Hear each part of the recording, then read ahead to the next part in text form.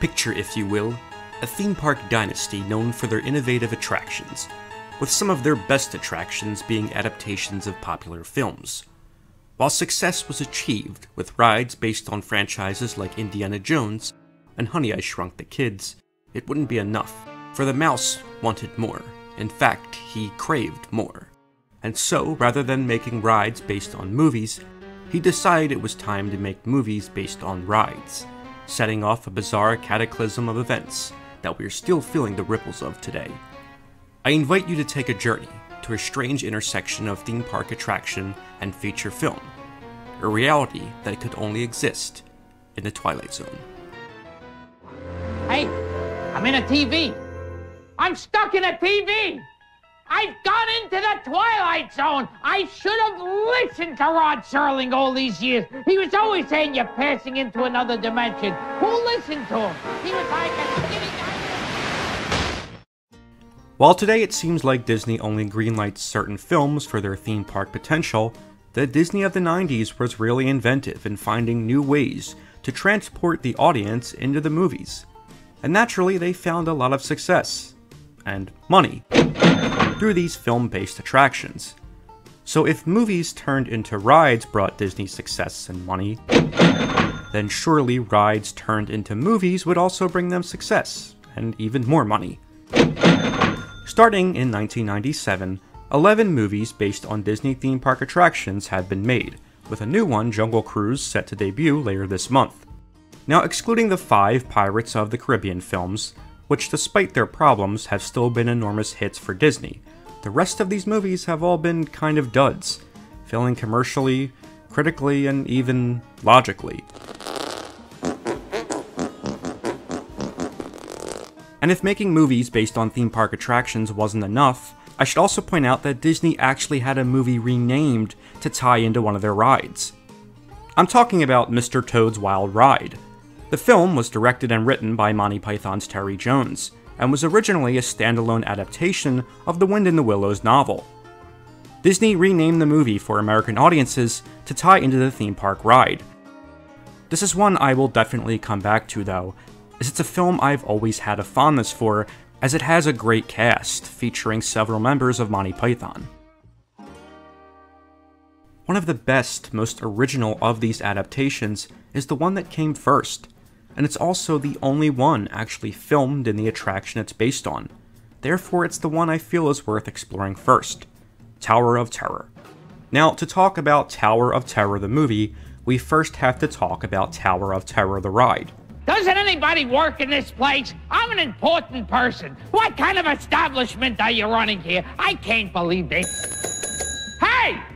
In the mid 80s, when the then named Disney's MGM Studios was still in development, Imagineers were torn on how to theme the Sunset Boulevard area of the park.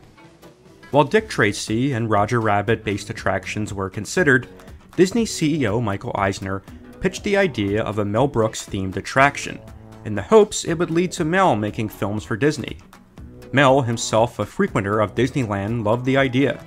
Inspired by the look and feel of Young Frankenstein, the ride, to be named Hotel Mel, would take guests on a tour through a supposed haunted Hollywood hotel where Mel was shooting his new movie.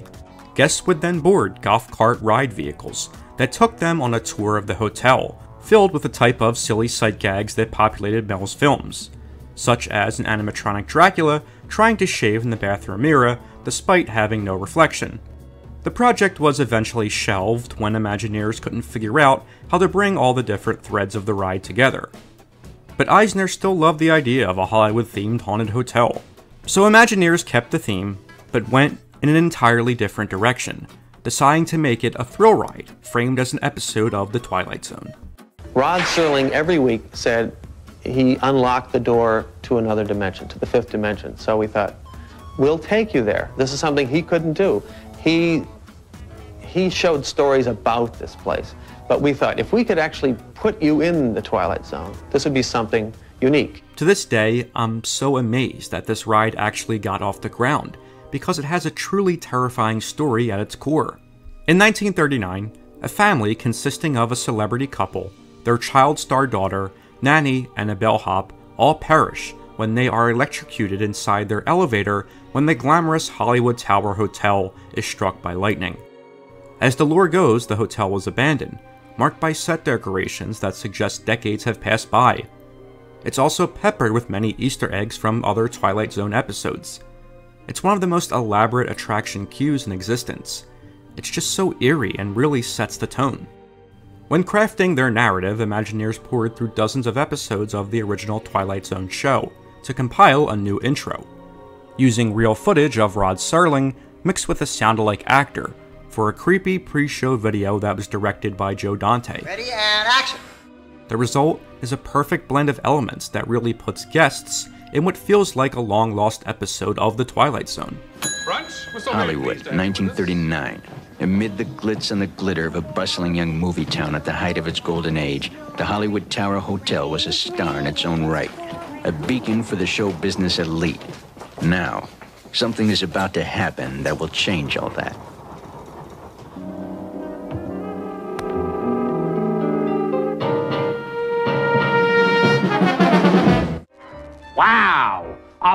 Personal invitation from Rod Serling himself. What more can you ask for? Well, maybe a pastrami sandwich, some uh, coleslaw, and a pickle on the side. But we'll have that later on. The ride opened on July 22, 1994, and quickly became a fan favorite, with a version opening in Disneyland in 2004, though it later became a Guardians of the Galaxy themed attraction in 2017, because money. Subsequent versions have since opened at other Disney parks around the world. Because of the ride's success, as well as the fact that it already had an intricate narrative at its core, Eisner believed it would make the perfect pilot production for movies based on Disney park attractions. Unlike the latter attraction based films, Tower of Terror would be made for television, minimizing the risk while still testing the market. It aired as part of their Wonderful World of Disney series for a special Halloween presentation on October 26, 1997. Because of this, the project was able to remain small in scale, relying more on great character actors and a simple story compared to the later star studded special effects driven theatrical films. The movie was directed and written by DJ MacHale, one of the creators of Are You Afraid of the Dark, a show which was heavily influenced by The Twilight Zone. MacHale excelled at spearheading bone chilling yet kid friendly tales that could be filmed affordably for television, making him a perfect choice to helm Tower of Terror.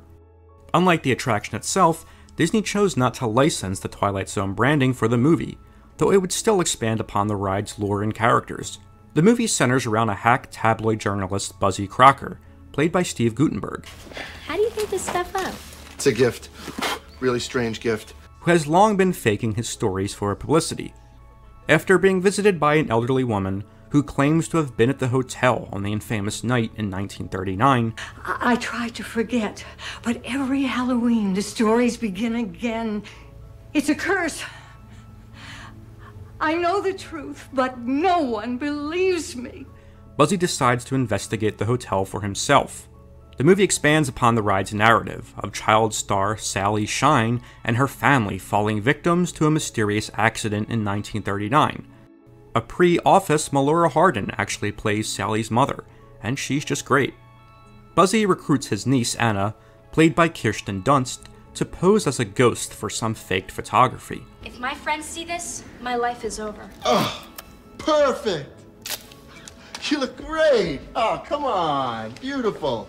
But Buzzy and Anna quickly get more than they bargained for when they start to experience unexplainable events at the hotel. I think I want to be someplace else. Together, they are joined by the hotel's caretaker Q, played by Michael McShane. Mm, come on, here. W- walnut? No, thanks. In investigating the truth behind the 1939 incident. Being produced on a budget, the movie utilizes the already intricate set that is the Tower of Terror attraction, filming many scenes in and around the attraction itself. I don't think many people realize just how big and elaborate the theming is around the Tower of Terror attraction, but the movie does a great job at utilizing areas that are normally queues for stroller parking or bathrooms. And it helps tie the movie directly to the ride. I'm Gilbert Gottfried, and I'm wearing a fuzzy pink bathrobe. While the movie suffers from feeling too TV movie in its style, with many dramatic fades to black for placement of commercials, they also use it to their advantage. Even though it doesn't use the Twilight Zone name, it carries the tone well. It feels much more like an extended episode of Are You Afraid of the Dark than a movie based on a theme park attraction. It's also got elements from The Shining in it, as Buzzy and Anna begin to interact with the ghost guests from the Tower Hotel. When I was alive, there wasn't much I did that turned out right. Pop would have let me run this hotel. but I couldn't even run the elevator. its small scale allows the movie to feel like its own thing, while still respecting the ride's theme. It's obvious that Disney gave freedom to the director, resulting in a movie that doesn't take itself too seriously and really becomes more about the atmosphere and lure than celebrity casting and special effects. The party never ended.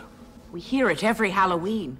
They're waiting for us. But we can't get to it because the elevator's stuck.